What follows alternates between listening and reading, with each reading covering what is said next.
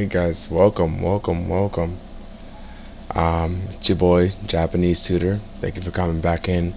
Um, today we're going to keep on going with the same uh, topics as pawn end games, but this time we're on the floating squares. Um, if you haven't already, if you could please follow. Um, I don't have a subscribe button, but my YouTube does, so you can go and follow that. It's the same thing, Japanese Tutor. I upload all these streams, um, and welcome. Um, so today we're going to go over the floating square, um, and I'm just going to read from the text, and then just kind of explain it after. Um, and if you guys do not know what's going on in the chat, feel more than uh, free to ask in the in the chat, and I'll try to do my best to answer that any questions you have. All right, so uh, the floating square. There are cases in which the king must do battle with two separated passed pawns. Passed pawns are pawns that have uh, nothing in front of them and no other pawns, right? So these are both passers. And these will be considered connected passed pawns because they're connected. Separated passed pawns, connected passed pawns. Great. Um, so a useful rule in these cases is the floating square rule suggested by A. Studenecki in 1939. If a square whose two corners are occupied by pawns on the same rank um, reaches sorry uh, I'll, re I'll start over. If a square whose two corners are occupied by pawns on the same rank reaches the edge of the board then one of those pawns must queen right? So if we make a square bam bam bam so right? So boom boom and these edges right are they're square. So this is a square right here right? So it's a five by five. Um, then one of these pawns queens. If if the square does not reach the end of the board then the king can hold the pawns so really really really important. So if it was if they were here the king could catch the pawns right? If it were like this then it couldn't right? Because it's six, and it would reach here. Really cool. Really, really cool. Okay, so let's uh, put the example back. Um, so if the square does not reach, if there are two files between the pawns, the king can capture both. If the distance is any greater, he can only prevent their further advance. So maybe, uh, right, maybe that example was wrong. Um, the square having reached the edge of the board, the pawns will queen regardless of whose move it is. Alright, so let's just go into it. Uh, A4, King B4, E4. King captures A4, and then E3, making a queen in two moves, and he cannot catch it because he is not in the square of the pawn, which we went over yesterday. Okay. So now let's shift the pawns to e6 and what are the ones? Uh, a6 and e6. a6 and e6.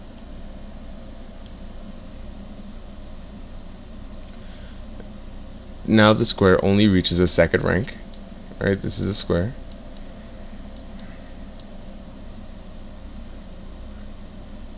And the position becomes a draw. In fact, a5 would be uh, bad because king b5, e5, king captures a5, e4, and we are in the square of the pawn so we can catch it. And we've learned this. We've learned this. Alright, so let's move this up. So black must play king f6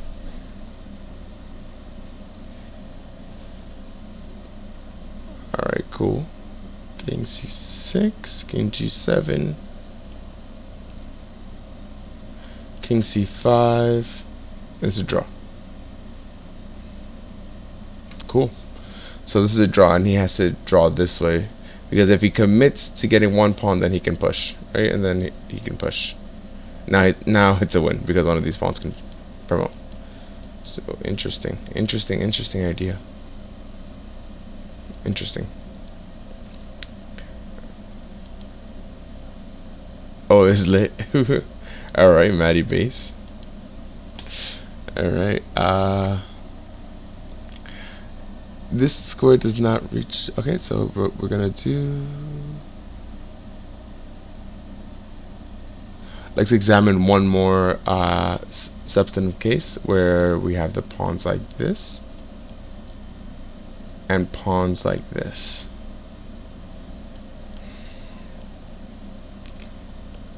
Okay. On the queen side, the square does not reach the end of the board, so the pawns can be held by king c3, a3, king c2. Very nice. King c2. On the king side, however, the pawns are already quite far advanced. And oh, Joe Panther 2001. Thank you so much for the follow on Twitch. I really appreciate that. Um, thank you. Now you've uh, joined the Chess Master squad if you're not a Chess Master already. And uh, true, uh, the king can prevent them from queening so far, but because of Zugzwang, he will soon be forced to let them through. Right, king.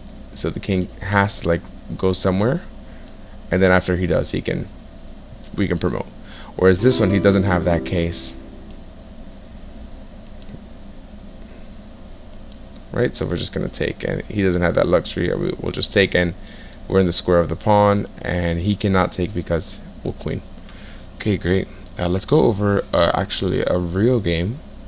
This is uh, Khalifman versus Belikov in Podolsk in uh, 1992. So, not too long ago.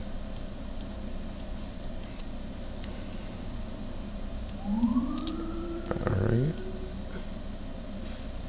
And I am in New York, so that siren is uh, is a common occurrence. Kind of like these pawn end games on this channel.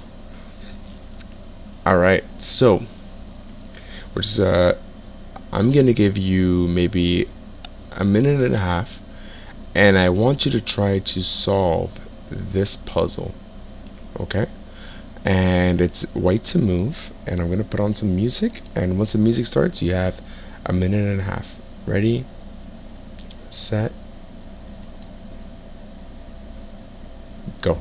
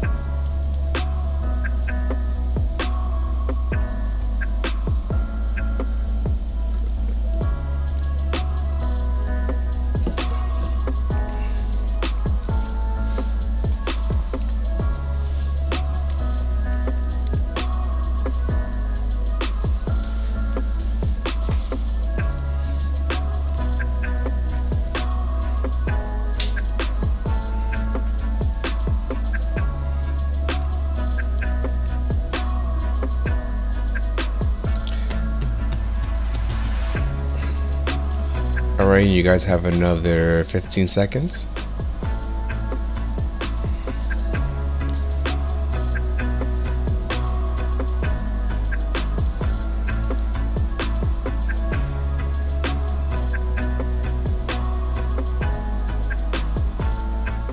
Alright, welcome back, welcome back.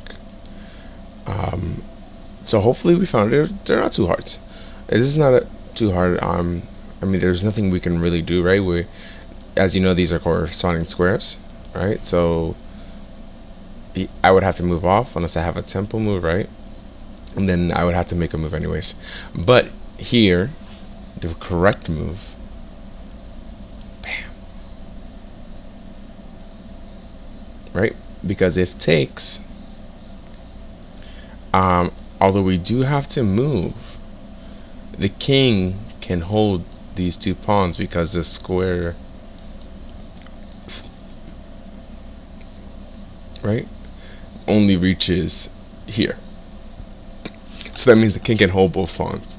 The king can hold both pawns but my pawns are protected. Because if the king ever takes then I'm making a queen. All right? So let's see what he says in the uh, in the text Oops, this is a white pawn. The pawn's here. White pawn is here. Okay, so uh, h6.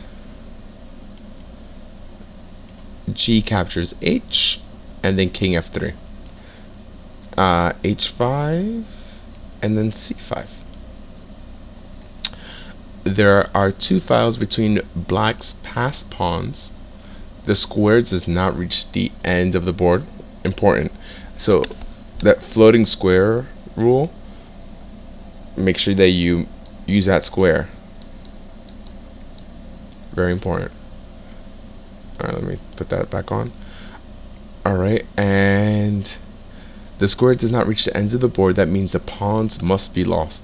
The attempt to defend them with the king is doomed to failure. So I king g7, c4, king g7, c4, c5. Oh, right, right, because we were playing c4. And then they play c5. King h3. King g3.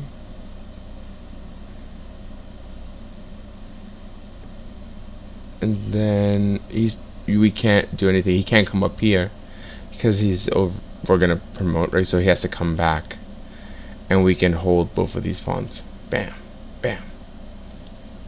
Ama amazing stuff by Dvoretsky. He's just amazing. And Black resigned shortly after that. So we're going to go into a tragic comedies, and this is the series where he takes a game which is tragedy and makes light of them.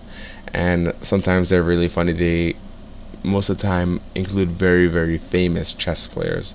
So yes, even famous grandmasters makes makes make mistakes. Sorry. So uh, let's go into this, and this is actually by Nimzovich. Nimzovich uh, is playing the black side of this. So let's create that position.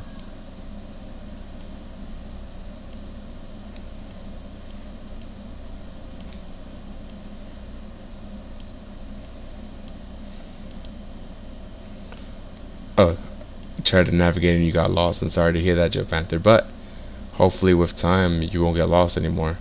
And since you're in the Navy, right? Navigating is one of your specialties, no?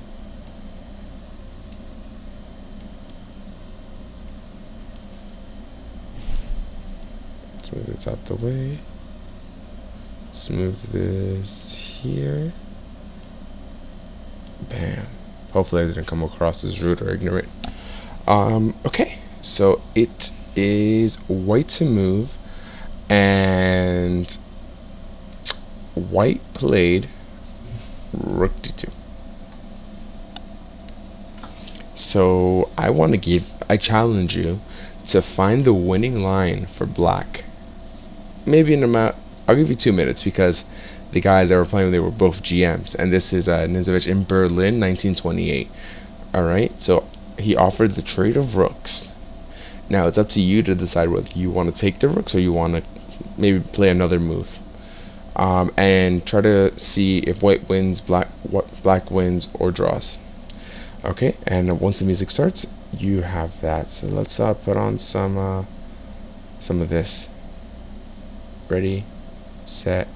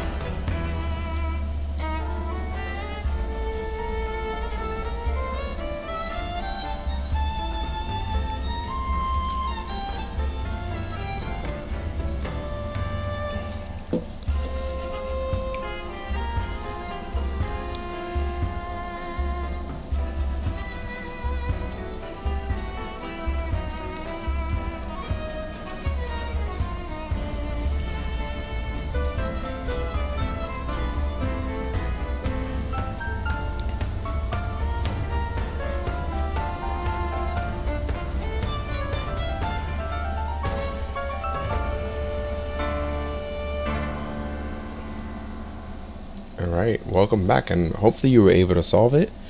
Um, this is pretty easy um, for just calculating wise, whether take takes, which is the right plan. Um, he should have just played a5 to be honest, and then uh, rook a3, putting the rook behind, right? So I'll show you guys that.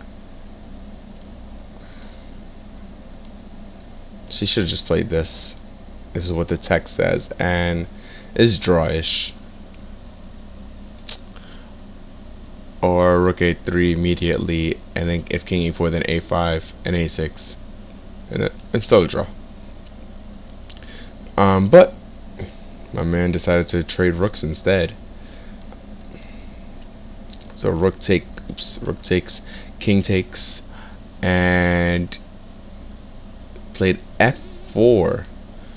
And why does he play f4? Why does he play f4? Right, okay, so first of all, we have to calculate the square of the pawn for both pawns. Right, so 1, 2, 3, 1, 2, 3, 1, 2, 3, 1, 2, 3. Okay, so this king is in the square of the pawn.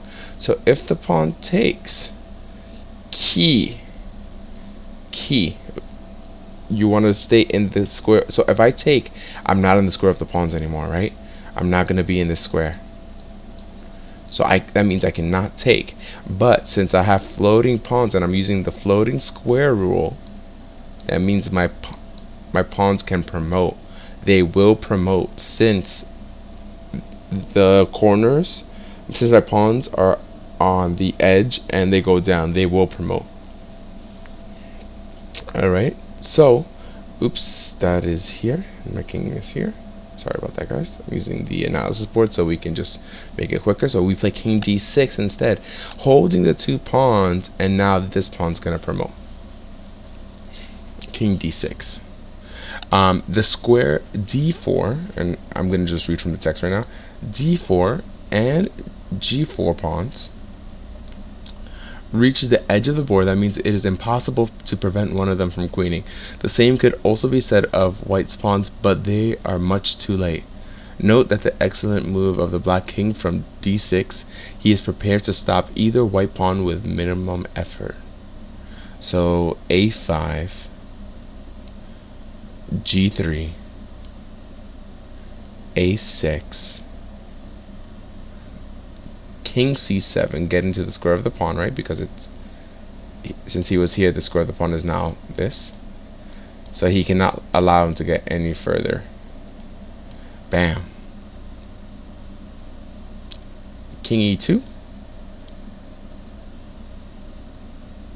d3 check. King captures d3. g2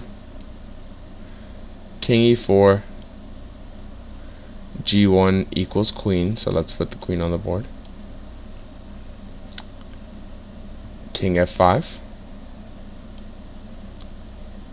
queen b6 stopping everything. And uh, he goes on to play king g5 and uh, so the position that he wants to reach and I'll show you this in a little bit um, but this is the position he wants to reach, if possible. Like if he can sacrifice these two pawns, like these two pawns off the board, and let's say this king is here, then this should be a draw. Yeah, because he has this resource, right? And I cannot capture. Um, hopefully we get into that later on. That this is a trick where you're if you have bishop pawns or rook pawns, you cannot win. But if you have a knight pawn or this middle pawns, and you can win this endgame by resource of right. And then you just bring the king in. King comes back. You check. Check. You stop him from promoting. Check. Get him under. Get him under the pawn, and then bam, he can't move anymore. And then checkmate. Okay, but that's uh, that's probably for later. Uh, oh, um, so so I'll go over it again. Um, King Dave, you haven't missed much. We just went over the floating square rule, where if um, and I'll show you that again. maybe the, the example that I just had was a really really good example so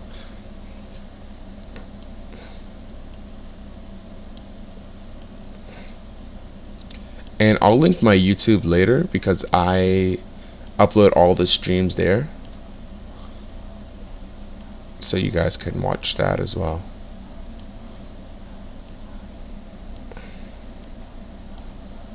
Okay so the floating square rules states so after this right oops after we trade right? The floating square rule states that if our pawns uh, of course not obstructed but if our pawns are on the edge of the board like oh no sorry make a square you know the square of the pawn so basically you make a square with this right and if our pawns uh, reach the end of the board, then the king cannot stop those pawns from queening. Right? So that's why he played f4 to queen, basically. And he played king d6. Now I want to address uh, Joe Panthers.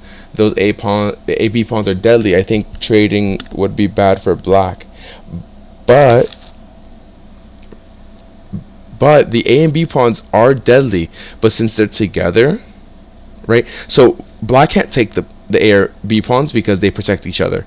But since um, we have this floating square rule, then that means one of our pawns is going to promote, and then we can get a queen, and our king can stop their A and B pawns they're together. The the unfortunately the F pawn's not going to be in time to stop it. All right. So I think I think we got this.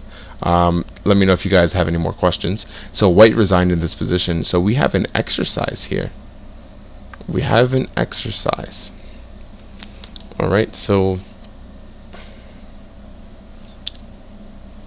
white's king is here.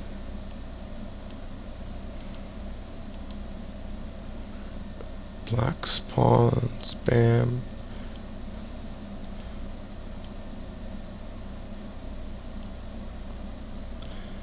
Oh, and somebody commented that I say bam a lot. But bam is such a useful word. Like bam, you know, you, you can't you, I I can't slam pieces on a virtual chess set. So I guess bam is my equivalent of like making a strong move on the board. Okay, I think this is a position. All right, and this is uh so this is an exercise um, and it's uh, black to move black to move here see if you can um, if you can get it we'll give you guys two minutes and once the music starts okay three two start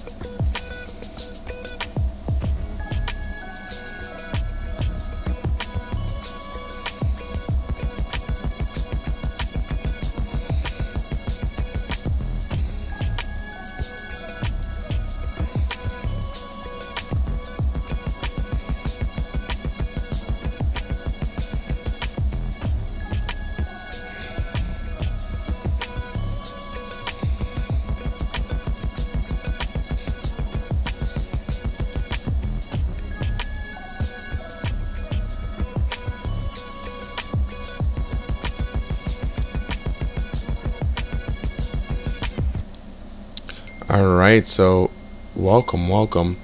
Um, hopefully you were able to solve it. Um, if you guys have any ideas in the chat, please let me know. I'll give you guys about 10 seconds and then I will say what I think it is and hopefully I'm right because the the exercises don't have uh, answers on in the text so I'm doing the puzzles along with you guys I think I got it um, I think we just want to recreate the position and so what we're doing is we're learning concepts of the end game so that when we are in middle game positions, we can convert them to winning end game positions, right? Because if we notice, like, oh, we're gonna have the floating, uh, we're gonna have the floating pawns, right?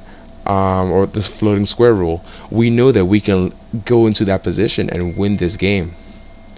Okay, so basically, I I'm gonna give you another five seconds. Alright, so I'm just to go right into it.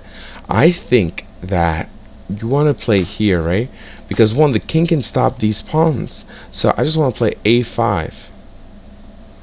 Right? And if like, let's say king a3, then we'll just play c5. Right? So like, now he really, he, he can't come up here, right? Because we're going to promote this way. Right? Because if he goes here, then we just play c4. And he's not in time because he won't be in the square of this pawn, right? Right, and so let's let's see if there's another way. A5. Um. Yeah, I don't see any other way. Um. C3. I think that runs into D3, and you can't do this because floating square rule. Let me see. One.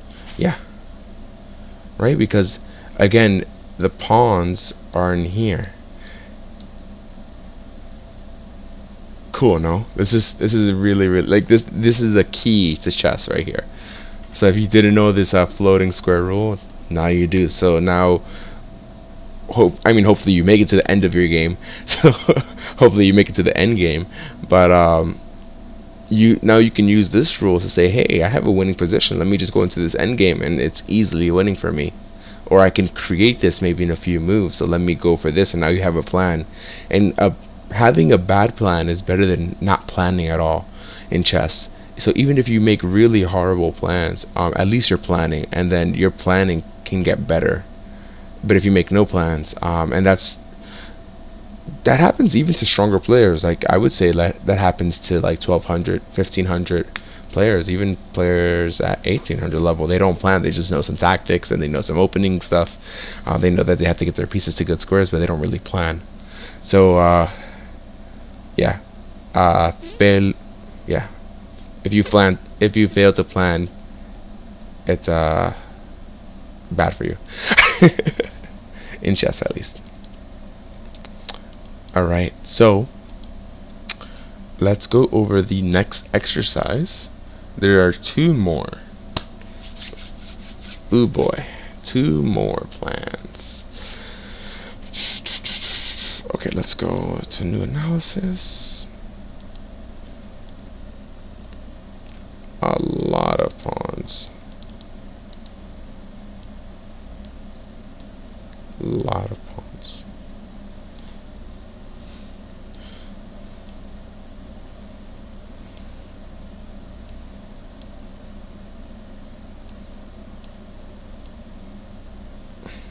Hmm.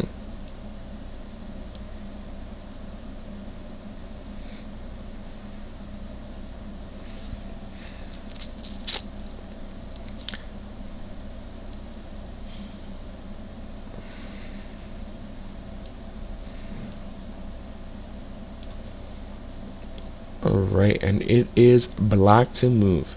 So again, as always, we're just going to give you some time and I'm gonna do this along with you.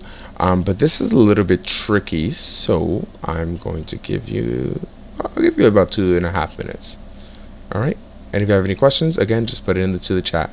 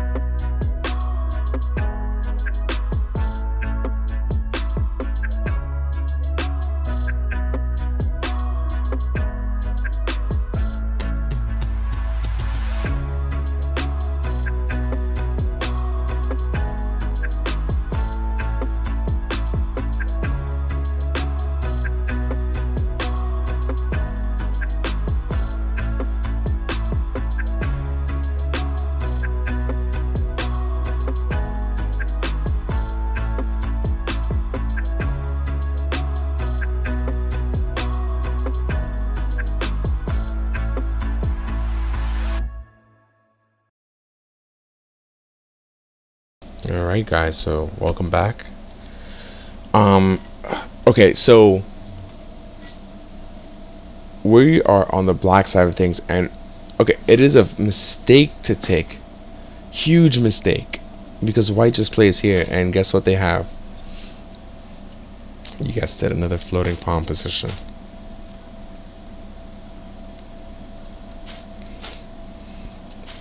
Not in time because, uh, unfortunately, uh, we can queen with check.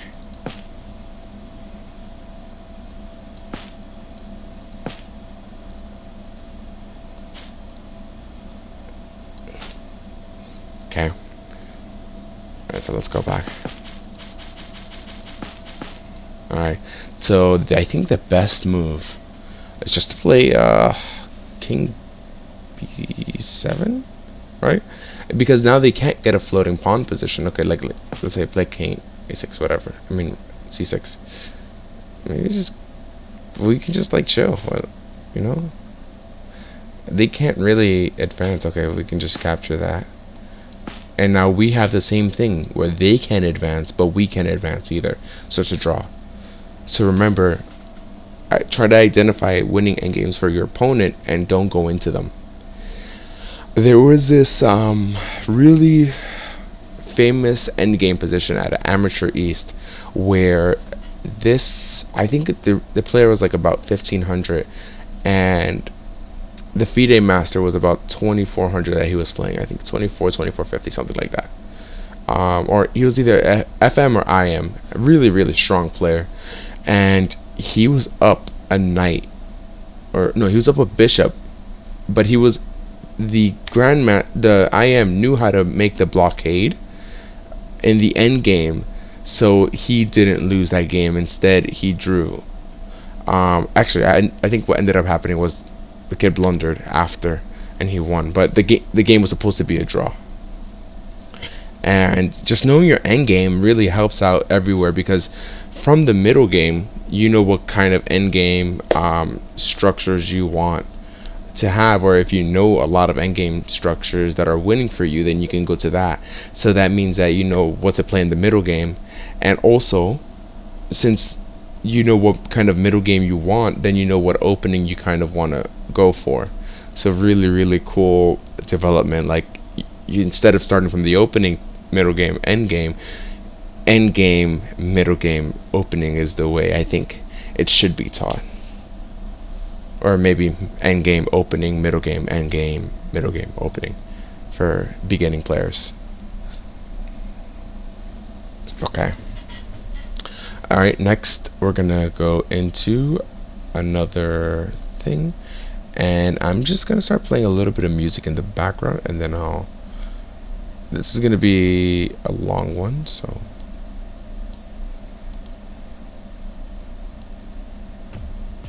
maybe not maybe not that one. Let's play it. And we have another exercise. Alright so the king is the king is here. Oh, let's uh, set up another position.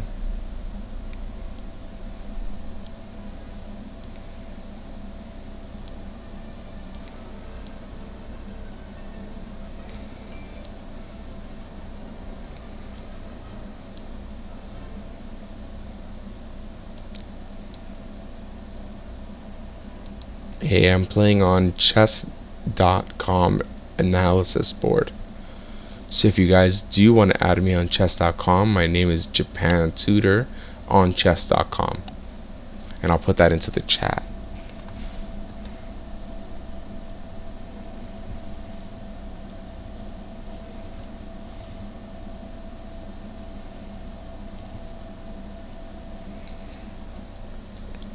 Okay, so that's in the chat now.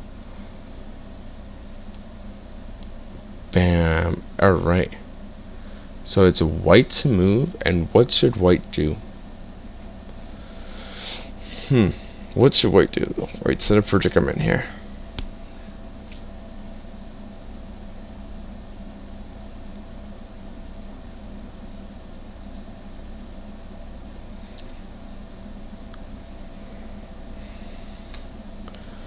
Okay, uh, so it's white to move.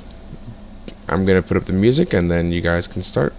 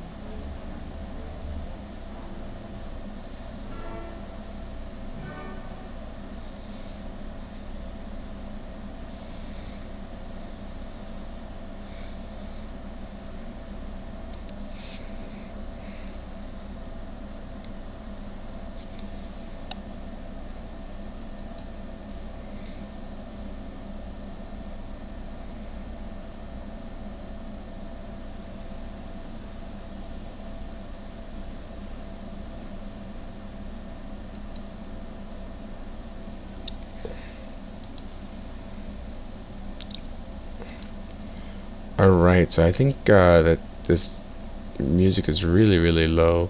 So I'm just going to play a little bit louder. I know that a symphony is really low, um, but maybe if I...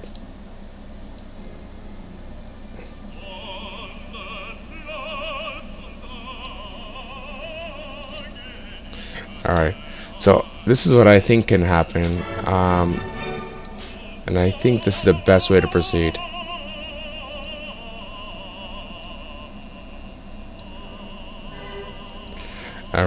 I think this is the best way to proceed.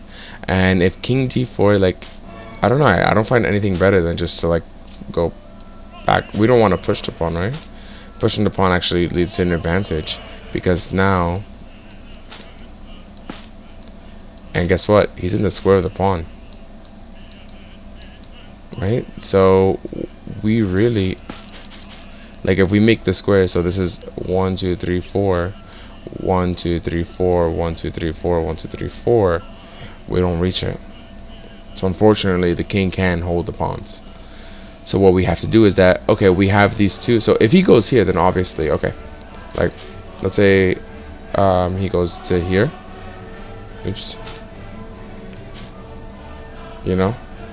Then f4 is winning because right?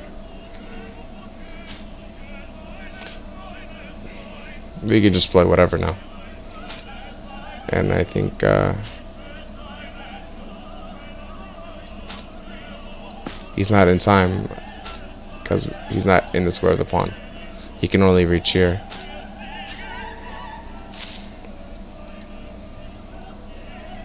Alright.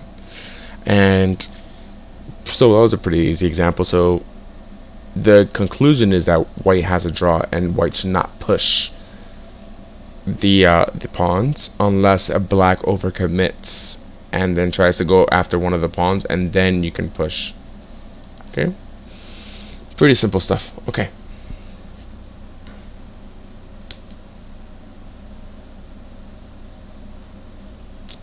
All right so the next the next uh, thing that he goes into is three connected passed pawns. So remember, connected passed pawns are where there's nothing in front of them and they're together. So three of them in a row. Those are really, really strong. And I also want to note, um, let's say that there are pawns here, like this. Um, if two pawns are about to queen like this and they are connected, this is a piece. All right, this is worth a piece in most cases. Okay, so.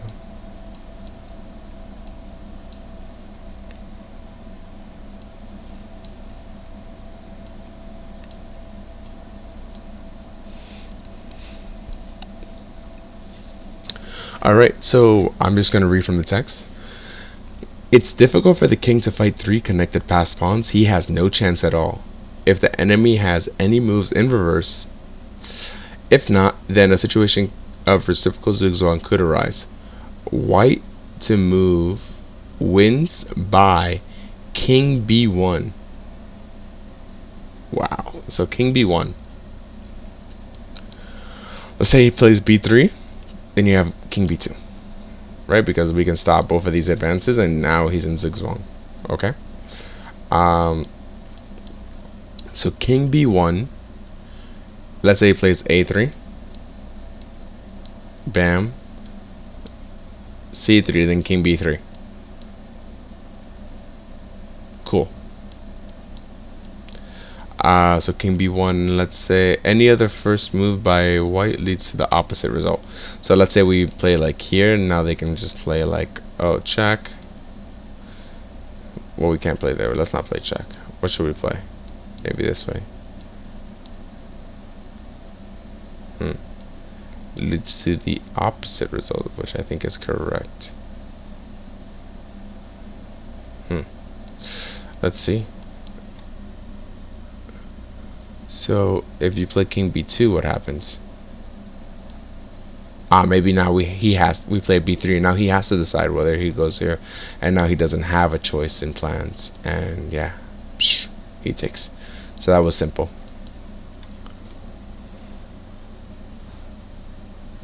Okay, cool. Um, let's do this. Whoa, we we have we actually have a piece now on the board.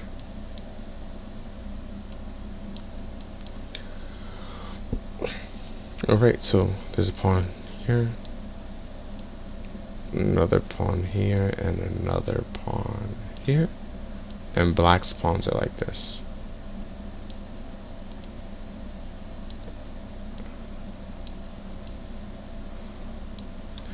Okay, so I'm going to read from the text. It is white to move, but I'm just going to read from the text. On the queen side, so this is the queen side, the side where the queen is located. Bam, and all this is the queen side.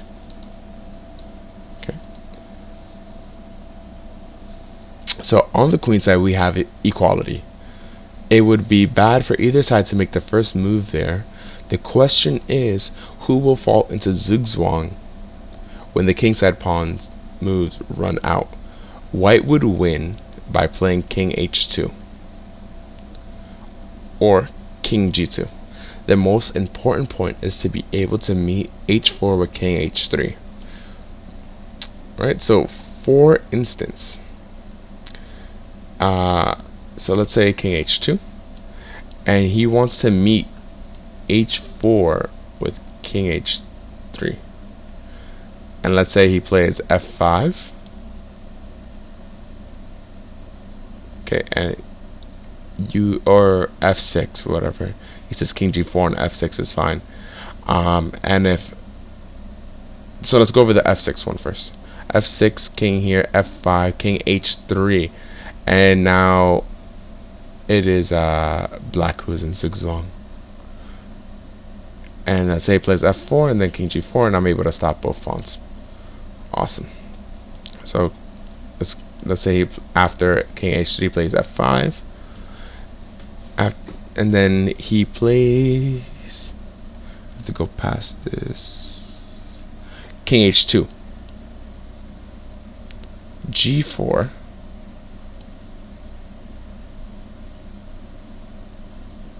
king g2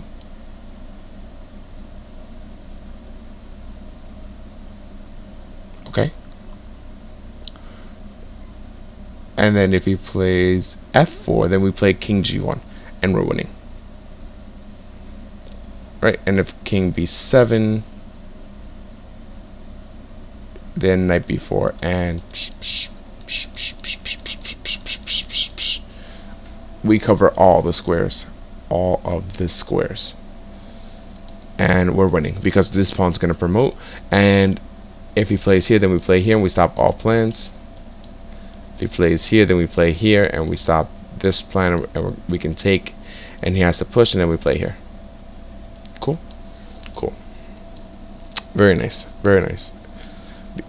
And the reason we were able to do that is because the king was here and the king has one move and as soon as the king stops attacking this pawn because he's in zugzwang, right? He can't play here so he has to play a move and then Now, the win is easy. Oops, my knight cannot take my pawn, but the win is easy from here. We leave our king exactly where it is. We wait for a pawn to move, and then we go to them. So that's how you stop three pawns uh, if we have moves on this side. Okay.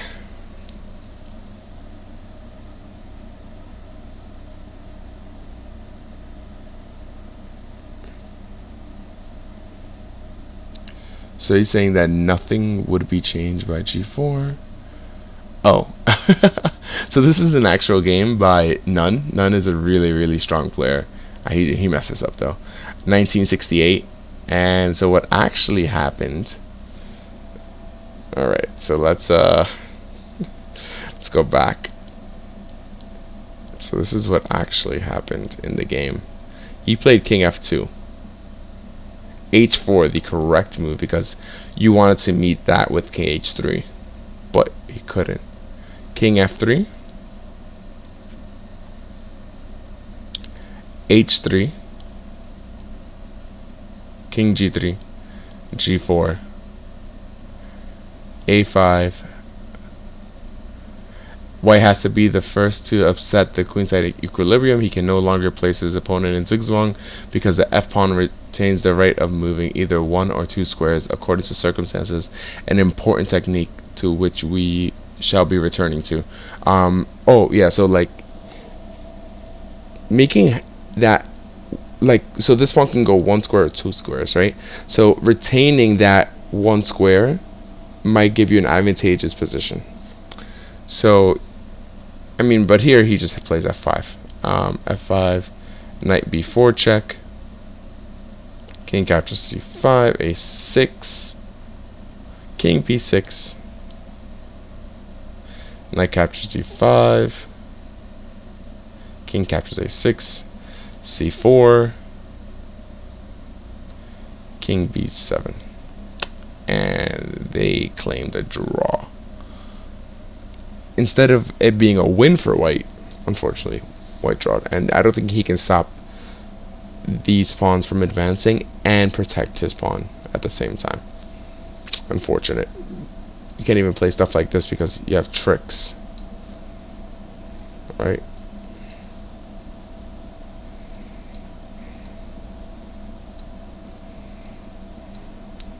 Now where does your king go? Being right? And then we're just gonna play this. And we're gonna and checkmate, so it comes here. Bam, queen, so that becomes a queen.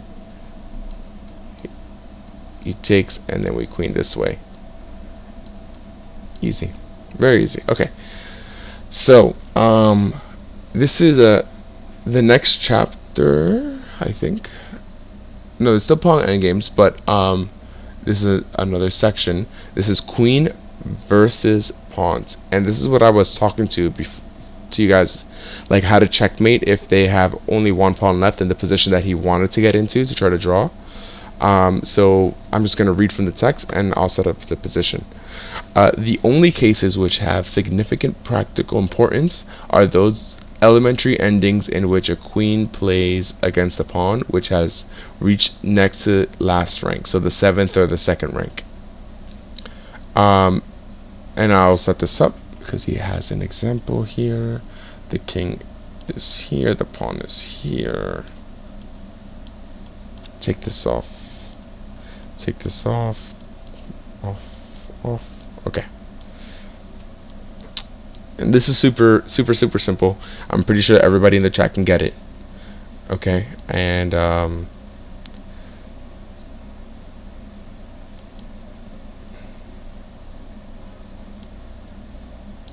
let's do this. Okay, so what you want to do is you just want to check the king until let's say he goes like this under the pawn. Once he goes under the pawn so it has to be one of these pawns. Oops not that, that one of these pawns. You keep checking the king until he goes under the pawn. Once he goes under the pawn you move the king. Bam bam he can go away from the pawn you attack the pawn he covers the pawn check you're attacking the pawn and you're checking him, so he has to protect. The, he has to go under to protect the pawn. You move your king, and you keep dancing with him. Let's say it goes here, here.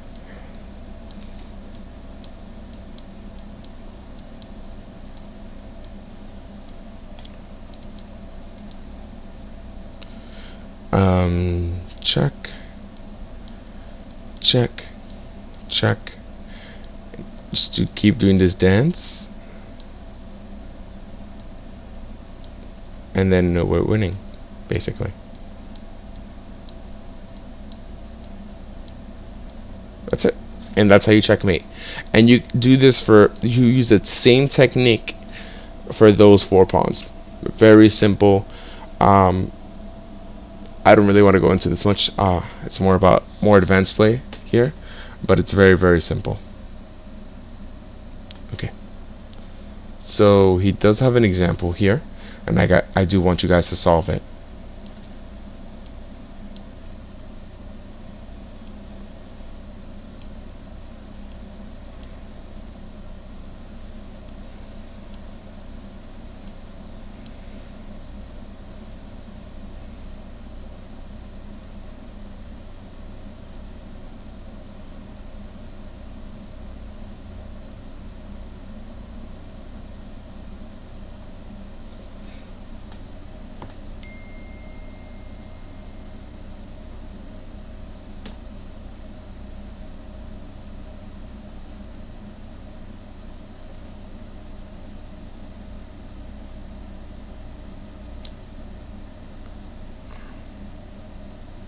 Okay. Oh, so this is actually, sorry. It's actually, uh, the PDF is in black and white, so it wasn't clear what color the queen was. Alright, so white's a move, and try to, try to see if you can do this, um, and report back to me.